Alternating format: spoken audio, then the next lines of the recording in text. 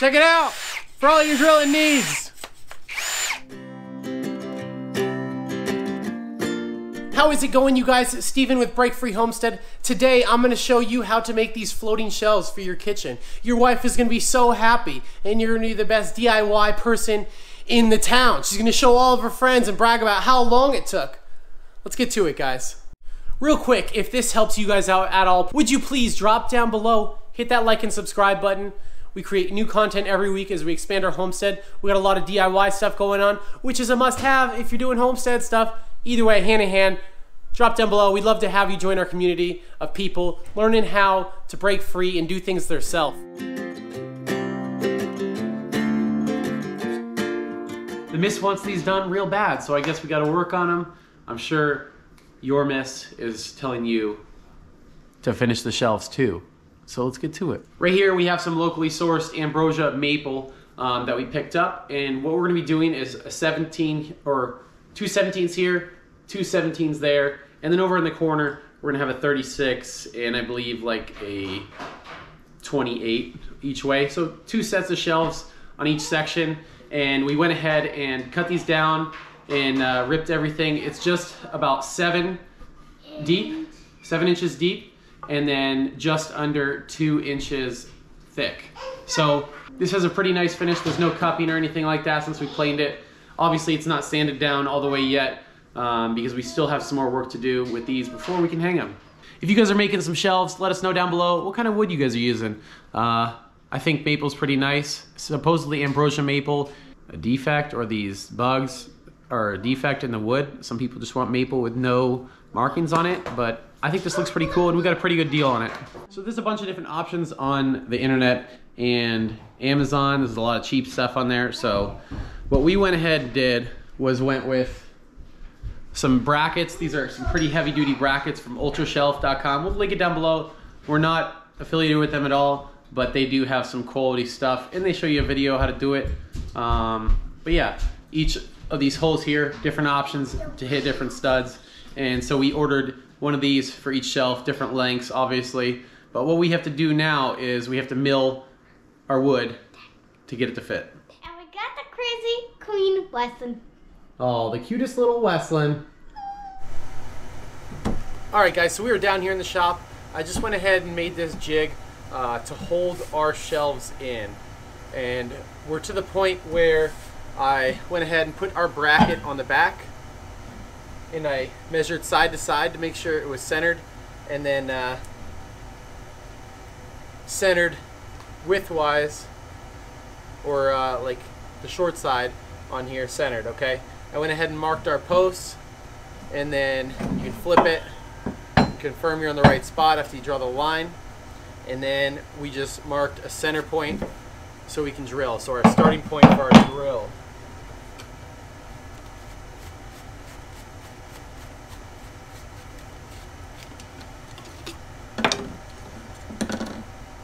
Let me show you real quick uh, the jig I made. They do sell like jigs for each um, shelf bracket length that you bought, but we bought maybe three different lengths. So we didn't really feel like doing that. And I have the shop and I have some leftover wood so I can just make my own jig. Let me show you. All right, so on the bottom on each side, I have this piece holding it from shaking back and forth. All right, on the ends, this is our longest shelf here, so I have a stop to hold it in. It's really just holding our sides on, and then these are to be our guides. It's uh, just quarter inch plywood ripped, and we're going to secure that basically right outside of the line where we want our router to be, and this will be the guide for the router bit. So right here I am screwing in a drill guide provided by UltraShelf. Now this drill bit I bought off Amazon has a flared end which was catching on this as it wasn't the perfect diameter and it was causing some issues. So I figured I would freehand it and that's not the answer to this problem. Yes, I did freehand this one shelf. Yes, it did go up on the wall. And no, it was not perfect. Do not freehand drill especially if you're using these mounts, is not going to be perfect.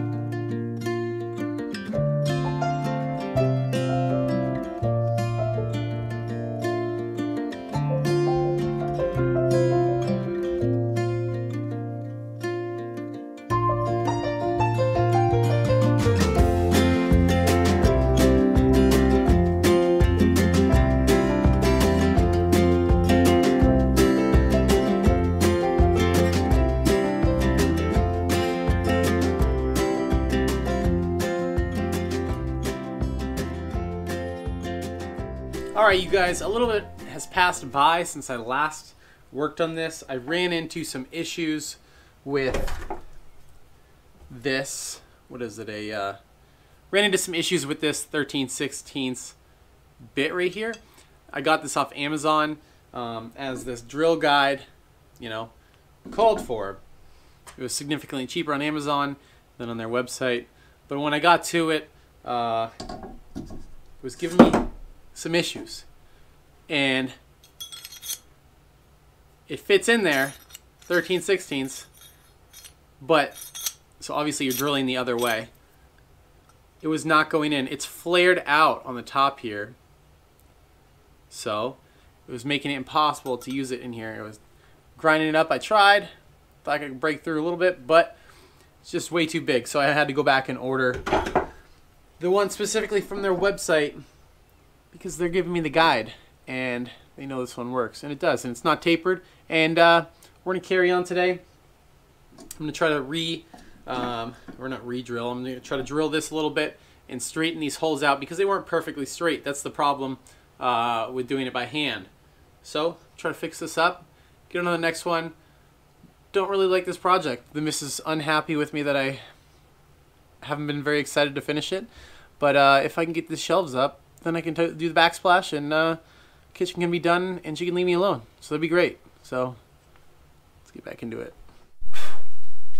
All right, guys, uh, after much trial and error, I hate this project. Uh, I finally found a way that we can make this work. Like I said, that other drill bit. Hold on, hold on. That wasn't gonna work because it was flanged. It's the one we're using now. Uh, I destroyed the other drill bit in an attempt, uh, you know, I have this Ryobi drill and then I used it on my Metabo drill, and it was just grabbing, and it would not go in with a hand drill. And I was like, dude, we need a drill press. Go look at drill presses online. They're like four thousand dollars for something this big. Not gonna happen. Throw the shelves away and no no shelves. So got my fully automatic drill here, the Drill Mate by Milescraft. Got it on Amazon. I'll link it down below. Turns my Ryobi into a drill press. Screw this thing into our jig, and we're on our way. Hole done in no time. Check it out. Liner up, starter. Secure this bad boy down.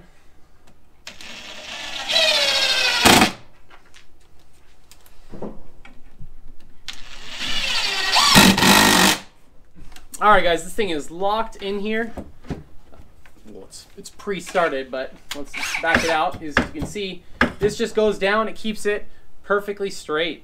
Um, you're the drill press. So I'm getting all up in here. Let's check it out.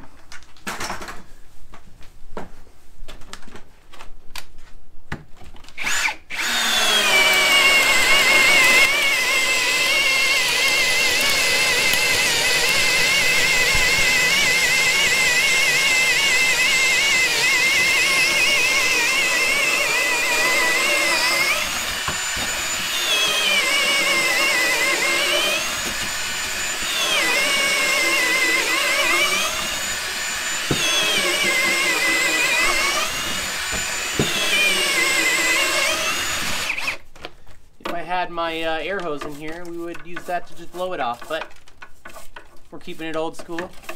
Brooming it off.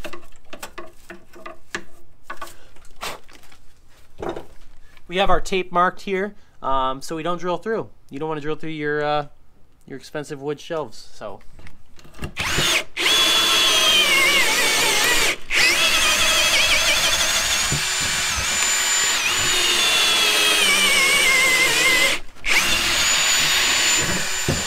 Even this Ryobi drill can just drill right through it because we got the drill mate.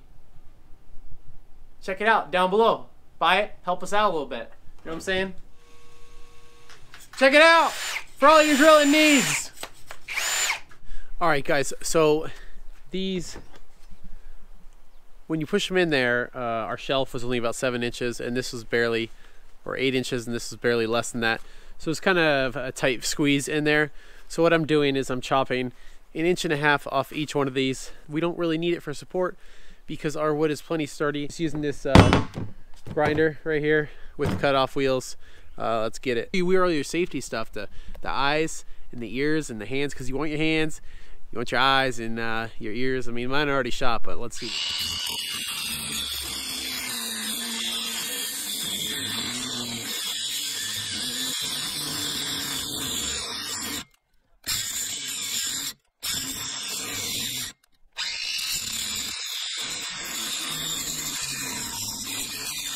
All right, guys, long time coming. We're freaking getting it. We're out here milling the back of these shelves out. These things are gonna get done soon. The miss is gonna be very happy. So let's get it. See if we can get this on video right here, right now.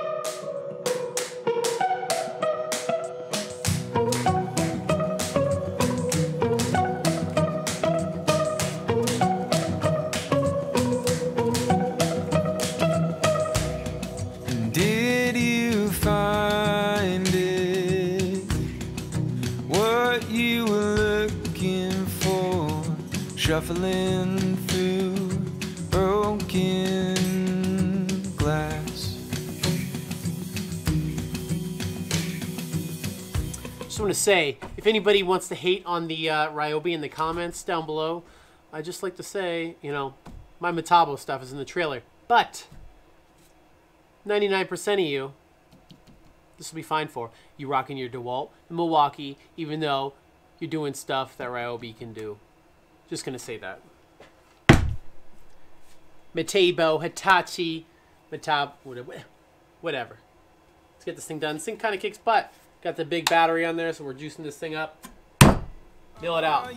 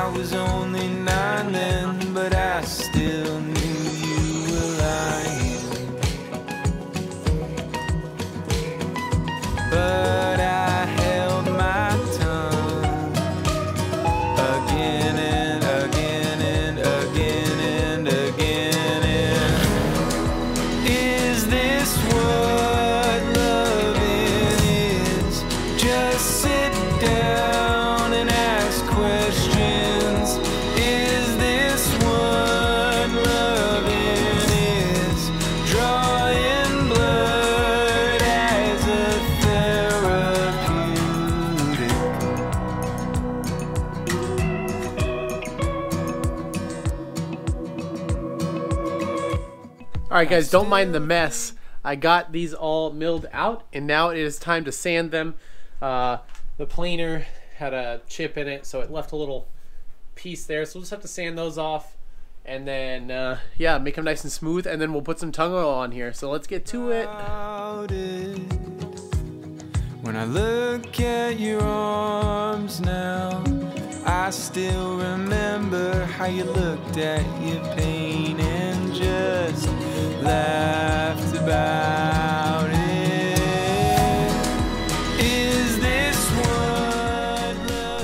guys, all of the shelves are sanded up to 800 grit, looking pretty darn nice. Got them laid out here on this table, and first thing we're gonna do is we're gonna use a damp towel with mineral spirits, wipe these down, get all the dust off. Then we're gonna come back and give it a coat of tung oil. We're just using a uh, terry towel for this.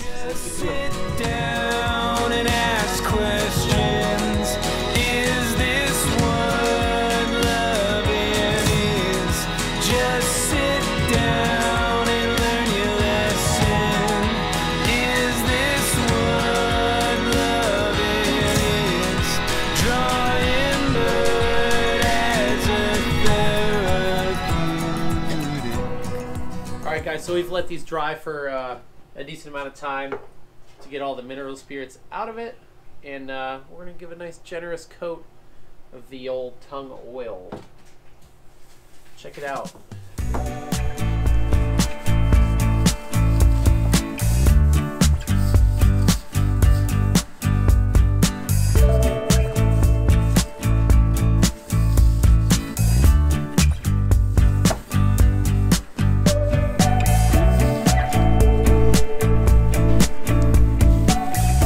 Grain pop nicely.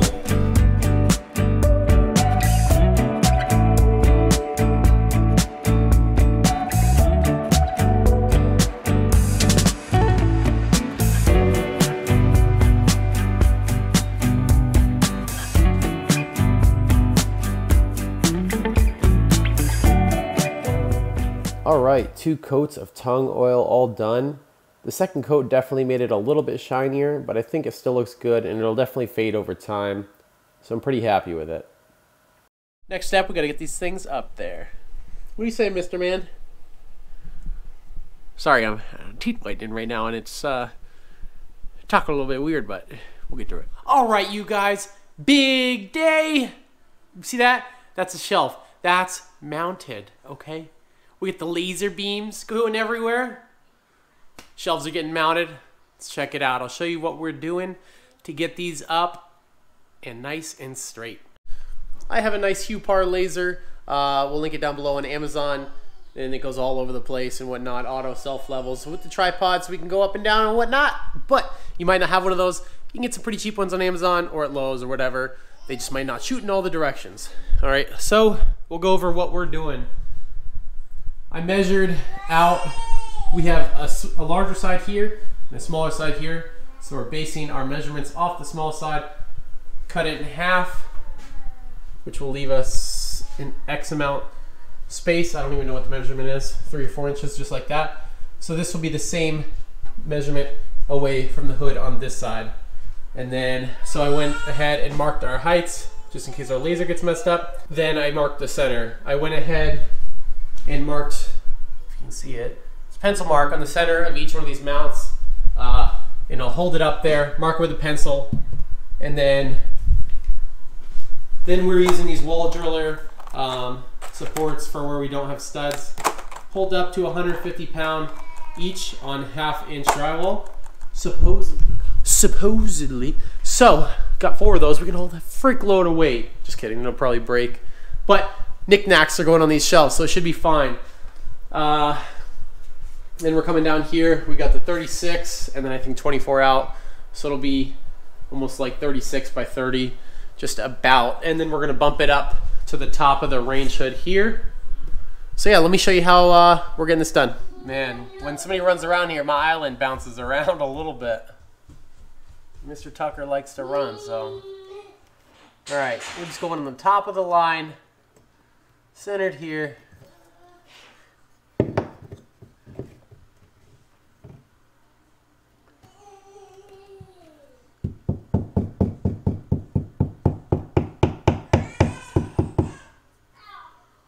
Know if that's gonna hit. We'll try it though. Probably not. You can just drill these right in, but I don't want it to like move on me, so.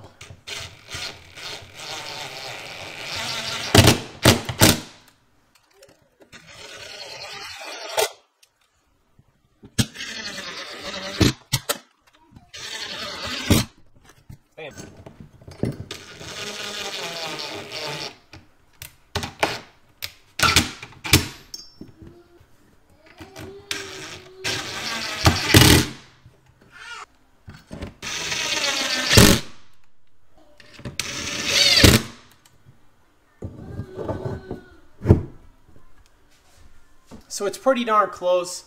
Uh, these boards warped a little bit, so this side does appear on the laser a little bit higher. Um, you can kind of finagle them. It should be pretty darn close.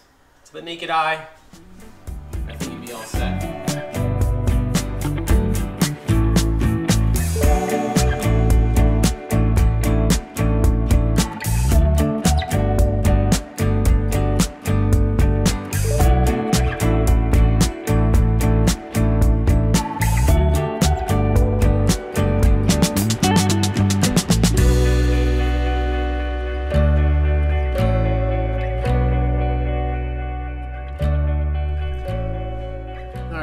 thing is fighting us, but uh, we're right there. So we're gonna hit it a little bit. The rubber mallet, try to protect it. I think it's because the drywall used to have a little bit of bump in the inside.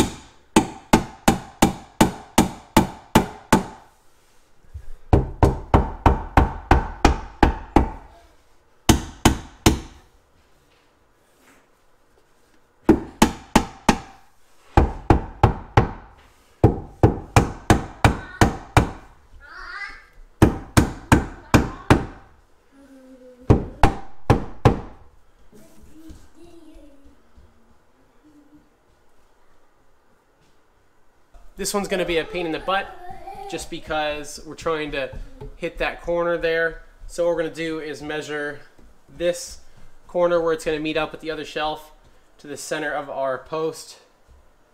And that's where we'll mount it. Guys, I got it in. It looks pretty darn close here. Gap's pretty small. This one is sitting a little bit higher, so what I'll probably do from the top is just add a tiny little hidden screw, pre-drill it, and then suck it down just like that. Um, that way it's perfectly flush. Let's get this bottom one done. It's the last freaking shelf, guys. I am so excited to be done with this project. They look good. They're nice ambrosia maple. But uh, yeah, I mean, you're gonna pay a lot of money if you don't do these yourself. But uh, it's definitely a lot of work. And if your time is money, then it might not be worth it for you to make this yourself.